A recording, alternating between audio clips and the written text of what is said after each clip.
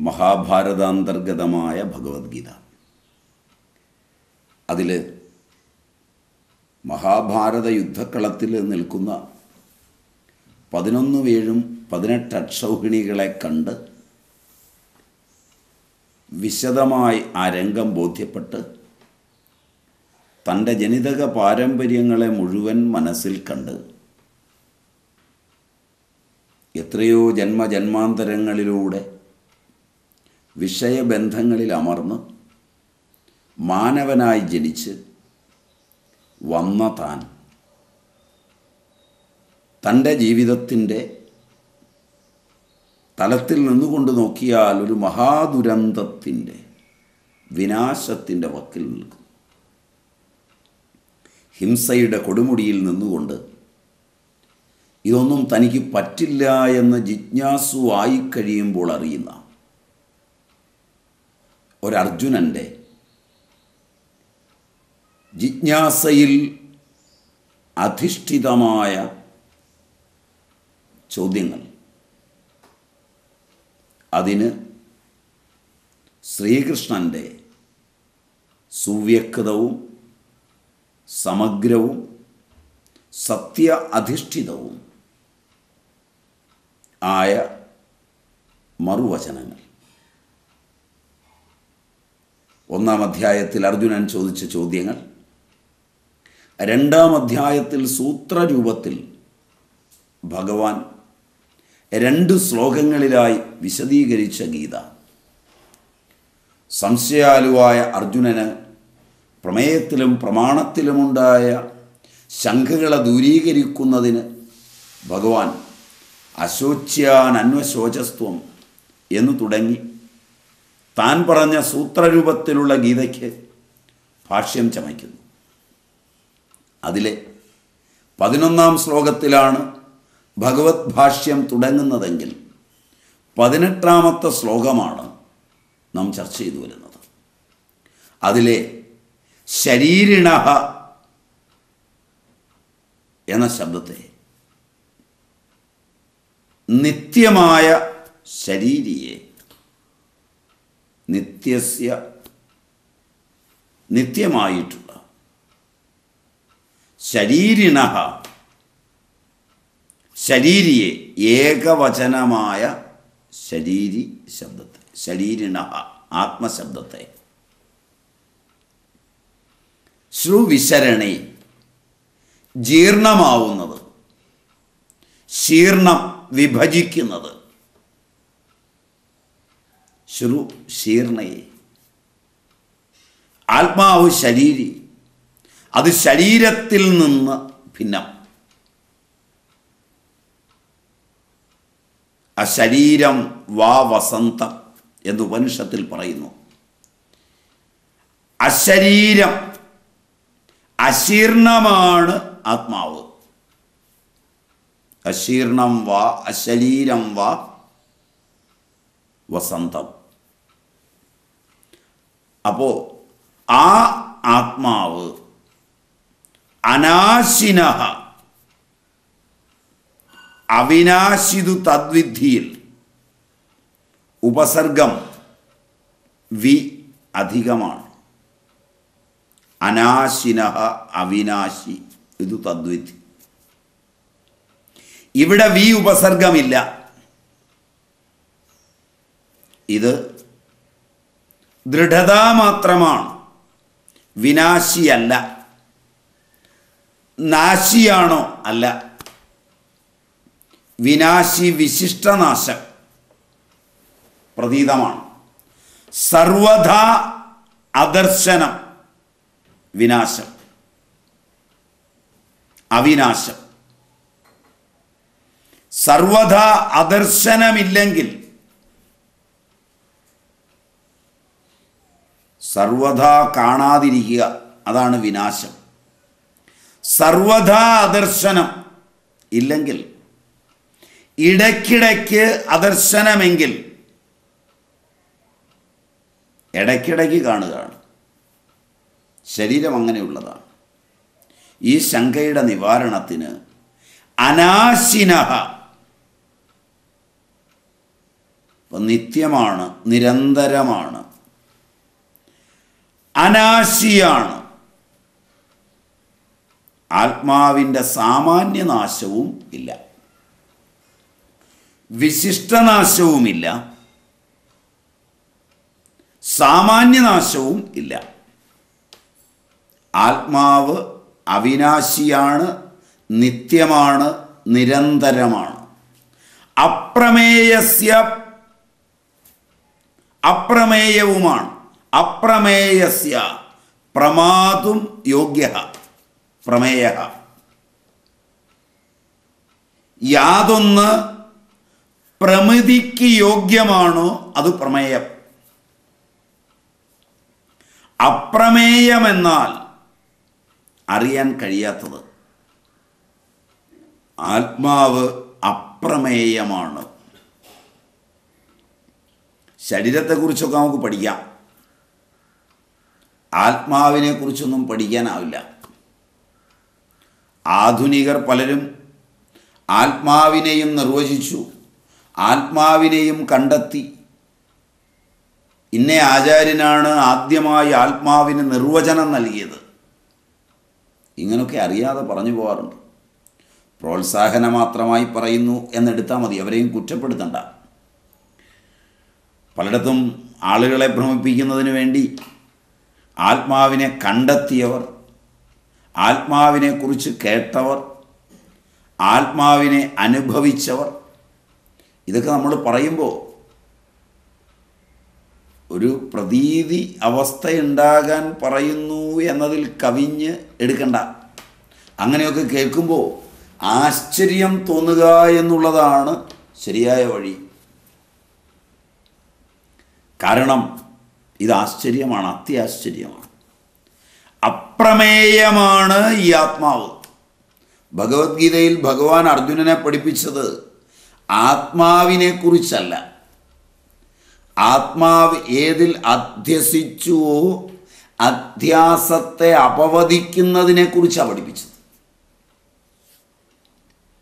അധ്യാരോപത്തെ അപവദിച്ചാൽ ഉള്ളത് അതുപോലുണ്ടാവും. അതുകൊണ്ട് ഇത് പഠിക്കാൻ പോകുന്നു പഠിപ്പിക്കാൻ പോകുന്നു. ജഗത്ത് ആത്മാവിൽ അധ്യസിച്ചു നിൽക്കുമ്പോൾ അതിനു പുറത്തിനി ഒരാത്മാവിനെ പഠിച്ച് അധ്യസിക്കുക. അപ്രമേയം. അപ്രമേയസ്യ പ്രമാതും ന യോഗ്യ പ്രമാതും യോഗ്യ പ്രമേയ ഏതൊന്ന് പ്രമിതിക്ക് യോഗ്യമായിട്ടുണ്ടോ അതാണ് പ്രമേയം. അപ്രമേയമെന്നാൽ പ്രമാ പ്രമിതിക്ക് യോഗ്യമല്ലാത്തത് അറിയുവാൻ കഴിയാത്തത് ആത്മാവ് അപ്രമേയമാണെന്ന് കൃത്യമായി ഗീതയിൽ പറയുന്നു.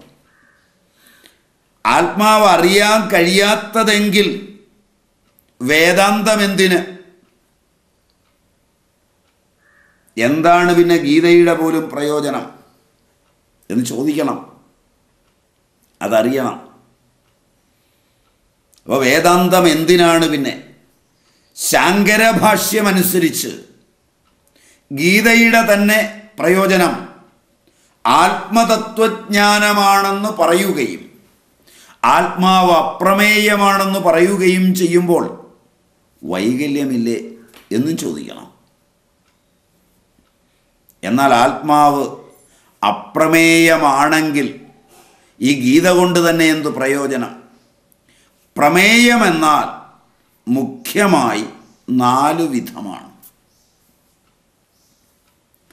പ്രത്യക്ഷമേയം അനുമേയം ഉപമേയം ശബ്ദമേയം എന്ന് മൂന്നാണ് നാലാണ്. നാലിന്റെയും നിഷേധം അപ്രമേയം എന്നതുകൊണ്ടുണ്ടാവില്ലേ? എന്നാൽ നൈയായികന്മാർ പറയുന്നു അഹം സുഖി ദുഃഖി അഹമസ്മി എന്നീ പ്രകാരത്തിൽ ആത്മ മാനസപ്രത്യക്ഷമേയമാണ് മനസ്സിൽ പ്രത്യക്ഷമേയമായ മാനസപ്രത്യക്ഷത്തിൽ ബോധ്യപ്പെടുന്നതാണ് അഹം സുഖി അഹം ദുഃഖി അഹമസ്മി. അപ്പോഴങ്ങനെയാണ് എങ്കിൽ ആത്മാവ് മാനസപ്രത്യക്ഷമാണ് എന്ന് നൈയായികന്മാർ. പ്രവൃത്യാ അനുമേയോയം രഥഗത്യേവ സാരഥി. രഥഗതി സാരഥി പൂർവകമാകുമ്പോൾ ആത്മസാരഥി പൂർവകമാണ്. ഈ അനുമാനം കൊണ്ട് ആത്മാസിദ്ധമാണ്. ഒരു രഥം പോകുന്നു. അതിലൊരു രഥി ഇരിപ്പുണ്ട് രഥഗതി സാരഥിപൂർവകമാവുക. പ്രവർത്തിയാദ്യനുമേയോയം രഥഗത്യേവ സാരഥി അപ്പൊ സാരഥി എപ്രകാരമാണോ രഥത്തെ നയിക്കുന്നത്? അപ്പോൾ രഥം നയിക്കപ്പെടുന്നത് കാണുമ്പോൾ സാരഥിയെ അനുമാനിക്കാം. അതുപോലെ ഈ ശരീരമാകുന്ന രഥം അതിന്റെ ഗതിയെ നോക്കിക്കാണുമ്പോൾ നോക്കിക്കാണുന്നവന് അതിൽ ഇരിക്കുന്ന രഥിയെ സ്വാമിയെ അനുമാനിക്കാം. ഈ അനുമാനം കൊണ്ട് ആത്മാസിദ്ധമാണ് അതുകൊണ്ട് അനുമേയമാണ്. ആത്മാ ശബ്ദം എന്തിനെ കുറിക്കുന്നു? അതിനെക്കുറിച്ച് എങ്ങനെ അറിയാം അവശ്യം എന്താണ്? ശബ്ദമേയമാണ് എന്ന് ഒരു തലത്തിലെടുക്കാം. അപ്പോൾ ആത്മാവിനെ എപ്രകാരം അപ്രമേയമെന്ന് പറയും. ആത്മാന്ന് ശബ്ദമുണ്ട്. ശബ്ദം ഉള്ളത് ശബ്ദം കൊണ്ട് അറിയുന്നത്. അപ്രമേയ വിശേഷണം കൊണ്ട് എന്തു വ്യത്യാസം? ആദ്യം ഒരു ദൃഷ്ടാന്തം നമുക്ക് നോക്കാം. സൂര്യൻ പ്രകാശിക്കുന്നു. സമ്മുഖമായ പുസ്തകവും ഘടാദികളും പ്രകാശിക്കുന്നു. അവയുടെ രണ്ടിന്റെയും പ്രകാശിക്കലിലെ അന്തരം എന്താണ്? പുസ്തകം ഇരുട്ടിൽ പ്രകാശിക്കില്ല. സൂര്യപ്രകാശത്തിൽ പ്രകാശിച്ചു കാണും. സൂര്യൻ അസ്തമിച്ചാൽ അഗ്നിയുടെ വെളിച്ചത്തിൽ പ്രകാശിച്ചു കാണും. അപ്പോൾ സൂര്യൻ അഗ്നി ഇവയൊക്കെ സ്വയം പ്രകാശിക്കും. ഘടപടാദികൾ അന്യപ്രകാശത്തിൽ മാത്രം പ്രകാശിക്കും. അപ്പോൾ സൂര്യൻ തന്റെ പ്രകാശത്തിൽ അന്യപ്രകാശത്തിലല്ല. പ്രകാശത്താൽ പ്രകാശം. ഇത് ശബ്ദപ്രയോഗ മാത്രമല്ലേ?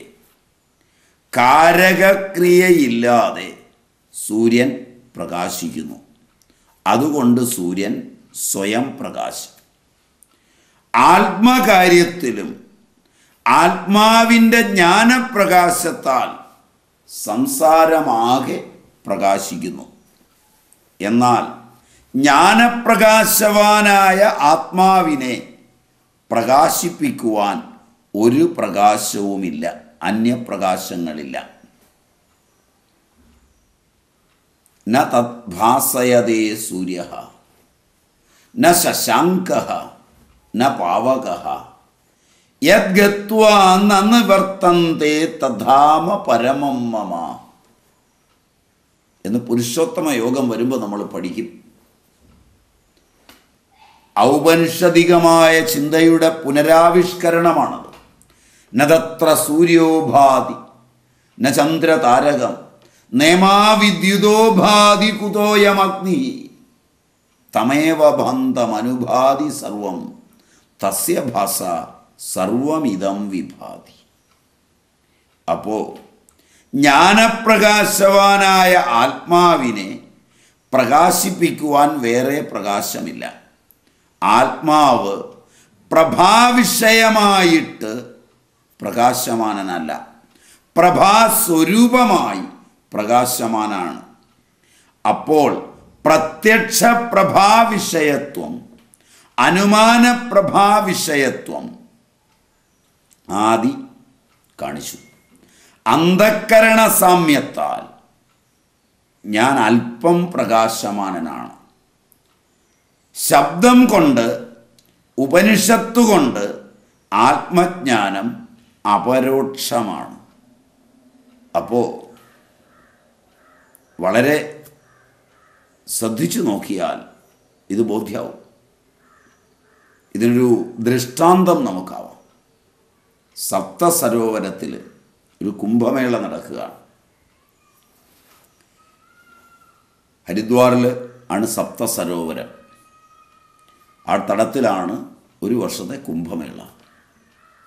സാധാരണഗതിയിൽ ആധ്യാത്മിക ദീക്ഷയൊക്കെയുള്ള ആളുകൾ കുംഭമേളയിൽ പങ്കെടുക്കാൻ ആഗ്രഹിക്കും ഒരു സ്വാമിജി അദ്ദേഹത്തിന്റെ ആശ്രമത്തിൽ അദ്ദേഹത്തിന്റെ സഹപാഠികളായ ആളുകൾ അദ്ദേഹത്തിന് മുമ്പ് സന്യസിച്ചതായ ജ്യേഷ്ഠ സന്യാസിമാർ അദ്ദേഹത്തിന്റെ ഗുരു ഗുരുവിന്റെ സഹോദര സന്യാസിമാർ ഗുരുഭായിമാർ ഒക്കെയുണ്ട്. തന്റെ കൂടെ ഗുരുവിൽ നിന്ന് സന്യസിച്ചവരെയും ഗുരുഭായി എന്ന് തന്നെയാണ് വിളിക്കുക. അപ്പോൾ ഗുരുക്കന്മാരുടെ നിലയിലുള്ള ഗുരുവിന്റെ തലത്തിലുള്ള ആളുകൾ ഇവരെല്ലാം ഉണ്ട്. അപ്പം അങ്ങനെ ഇരിക്കുകയാണ് അദ്ദേഹം. വളരെ പ്രവൃത്തിനിരതമായ ആ ആശ്രമത്തിൽ നിന്ന് ഇത്തവണത്തെ കുംഭമേളയ്ക്ക് പോകണമെന്ന് അനുമതിയൊക്കെ വാങ്ങിച്ച് നേരത്തെ സ്ഥലം വിട്ടു. ആരുടെയും കൂടെയല്ല തനിച്ച്. പോകുമ്പോൾ പാദം വരെ നീണ്ടു കിടക്കുന്ന അദ്ദേഹത്തിന്റെ താടിയും കാലിന്റെ പിൻഭാഗം വരെ താന്നു കിടക്കുന്ന അദ്ദേഹത്തിന്റെ മുടിയുമെല്ലാം അദ്ദേഹം കുംഭമേളയ്ക്ക് മുമ്പ് മുണ്ടനമൊക്കെ ചെയ്ത് ആരും പെട്ടെന്ന് കണ്ടാൽ തിരിച്ചറിയേണ്ട എന്ന മട്ടിൽ സപ്തസരോവറിലെത്തി സാധാരണക്കാരനെ പോലെ അവിടെ ഓടി നടക്കുകയാണ് ഗംഗ അദ്ദേഹത്തിന് വളരെ ഇഷ്ടമാണ്. കളകളാരവം പൊഴിച്ച് ശിവശീർഷത്തിൽ നിന്ന് വരുന്ന ഗംഗ ഭാഗീരഥി മൂന്ന് തവണ ശിര ശിവശീർഷത്തിലേക്ക് തിരിച്ചു പോകാൻ ഒരുങ്ങിയിട്ടുണ്ട്. മൂന്ന് സ്ഥലങ്ങളെയും കാശി എന്ന് തന്നെയാണ് വിളിക്കുക. മൂന്ന് സ്ഥലങ്ങളിലും ഭഗവാൻ പരമേശ്വരൻ പ്രത്യക്ഷമായി എന്നും അനുനയപൂർവം ഗംഗയെ ലക്ഷ്യസ്ഥാനത്തിലേക്ക് വീണ്ടും പറഞ്ഞു വിട്ടുവെന്നുമാണ് ആ കഥയൊക്കെ.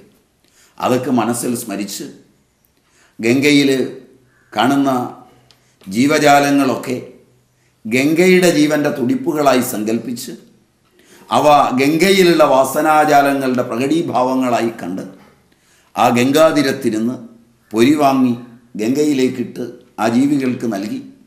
ആസ്വദിച്ച് ഗംഗയിൽ അങ്ങനെ ലയിച്ച് ഇരിക്കുമ്പോഴാണ് മൂന്ന് നാല് പേർ അദ്ദേഹം ഇരിക്കുന്നതിൽ നിന്ന് അപ്പുറത്തിരുന്ന് അവരുടെ കൂടെ സഹവസിക്കുന്ന ഒരു സ്വാമിജി നേരത്തെ തന്നെ ആശ്രമം വിട്ട് കുംഭമേളയ്ക്ക് പോകുന്നതും ഒക്കെ അദ്ദേഹത്തിന്റെ പ്രവർത്തനങ്ങളും അദ്ദേഹത്തെക്കുറിച്ചുള്ള കാര്യങ്ങളുമൊക്കെ പറഞ്ഞ് കളിയാക്കുകയും ചിരിക്കുകയും ഒക്കെ ചെയ്യുന്നത്.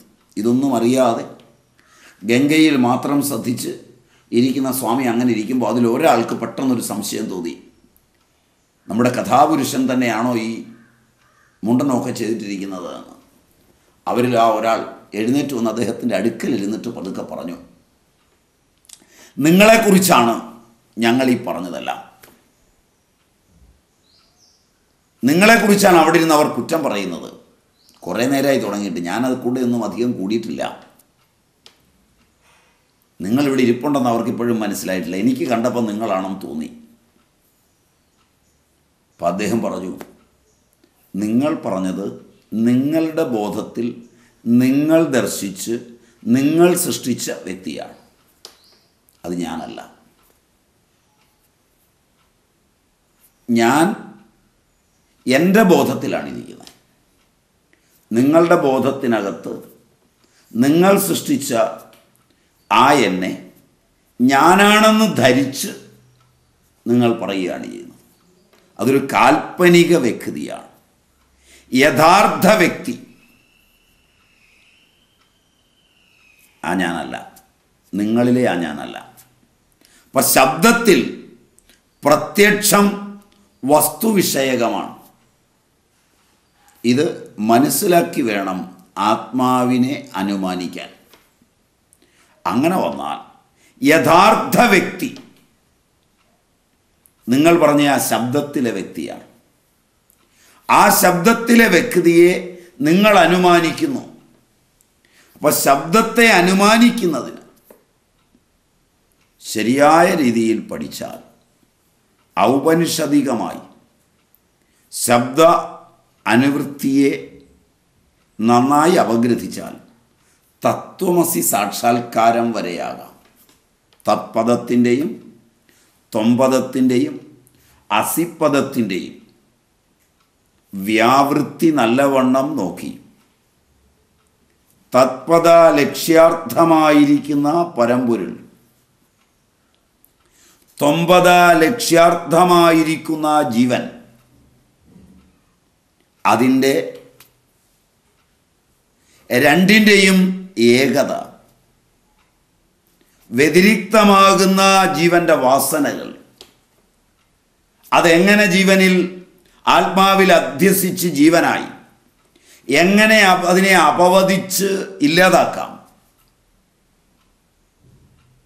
ഇത് കൃത്യമായി ശാസ്ത്രീയമായി മനസ്സിലാക്കി അവിടം വരെ നമുക്കെത്താം. ഇവിടെയും നമ്മൾ പ്രമാതാവ് പ്രമാണം പ്രമിതി പ്രമേയം ഇങ്ങനെ നാലെണ്ണമുണ്ട്. ഒരു കാര്യത്തെ പഠിക്കുകയും പഠിപ്പിക്കുകയും അനുമിക്കുകയും ഒക്കെ ചെയ്യുമ്പോൾ പ്രമാതാവുണ്ട് പ്രമാണമുണ്ട് പ്രമിതിയുണ്ട് പ്രമേയമുണ്ട്. ഈ നാലെണ്ണത്തിന്റെ ചർച്ചയാണ്. ഭാരതീയ ചിന്തകൾ ഏത് പഠിക്കുമ്പോഴും ചതുഷ്പാദ തന്ത്രം ഏതു പഠനത്തിലും നിർണായകമാണ്. പ്രമാതാവ് ദേവദത്താദികൾ ഏതൊരുവനാണോ പ്രമേയത്തെ മനസ്സിലാക്കുന്നത് അത് പ്രമാതാവാണ്. അന്ധക്കരണ അവച്ഛിന്ന ചേതനനായ ജീവാത്മാവ്. അതിന് നാമകരണം ചെയ്യുമ്പോഴാണ് ദേവദത്തൻ യജ്ഞദത്തൻ എന്നൊക്കെ നമ്മൾ പറയുന്നത്. അത് പ്രമാതാവാകുന്നു. അന്ധക്കരണാവച്ഛിന്ന ചേതനനായ ജീവനാണ് പ്രമാതാവ്. അന്ധക്കരണവും ഇന്ദ്രിയങ്ങളും പ്രമാണങ്ങളാണ്. അതിൽ വിഷയാകാരവൃത്തി എന്തുണ്ടോ? അത് പ്രമിതി. അന്ധക്കരണത്തെയും ഇന്ദ്രിയങ്ങളെയുമാണ് ജീവൻ പ്രമാണമായി സ്വീകരിക്കുന്നത്. ശബ്ദം സ്പർശം രൂപം രസം ഗന്ധം ഇവയെല്ലാം അറിയിക്കുന്ന പ്രമാണങ്ങൾ അന്യന്റെ അനുഭവങ്ങളോ അന്യൻ അനുഭവിച്ച കാര്യങ്ങളോ അവൻ അനുഭവിച്ചതുകൊണ്ട് നാം അംഗീകരിക്കില്ല. അവ ശബ്ദമായി നമ്മിലെത്തി. നമ്മുടെ അന്ധക്കരണത്തിന് സ്വീകാര്യമാകുമ്പോഴാണ് നാം സ്വീകരിക്കുന്നത്. ഇങ്ങനെ ചതുഷ്പാദ തന്ത്രം വെച്ച് ഈ ഭാഗം നാം നോക്കിക്കാണേണ്ടതാണ്.